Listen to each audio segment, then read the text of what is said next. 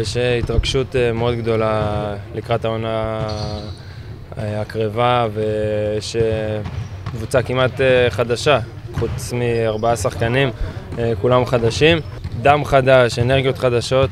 פגשתי כבר את החבר'ה בכמה ימים האחרונים, חלק הגיעו יותר מוקדם, אבל באמת חבר'ה חיוביים, כולם רוצים להצליח.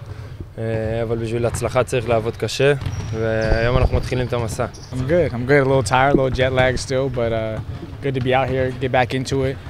Uh, meeting some of the new guys who weren't here last time I was here, meeting some of the new staff and administration and stuff. So, uh, but it feels very familiar. You know, this building feels very comfortable.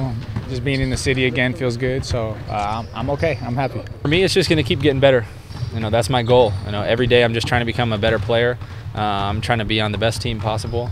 Um, I feel that this team has a great chance to, to be a great team, to potentially try to win some championships, compete for some championships. And so um, for me, this is just the beginning with Maccabi, and I hope that uh, it can be a great career here. שבעה עזבו ו... וחדשים הגיעו. בוא נגיד שזה קורה לנו הרבה בחמש שנים האחרונות. הרבה פעמים זה מכוח הנסיבות, שחקנים שעשו עונה טובה ו... וניצלו את האופציות יציאה שלהם והלכו למקומות אחרים אחרי הצלחה, ויש כאלה שגם לא הצליחו משום מה ו... ועזבו, אבל זה משהו שאנחנו רגילים, זה לא משהו שאנחנו אוהבים. אנחנו רוצים דברים ש... או המשכיות, רוצים קבוצה שתמשיך כמה שנים רצוף. אני חושב שהשנה עשינו גם כמה החתמות של שנתיים בלי אופציות יציאה, של להסתכל יותר קדימה ולנסות לבנות משהו קדימה.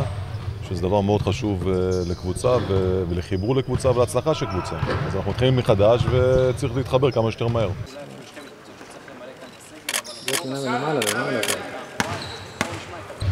I felt it was a positive experience for both of us.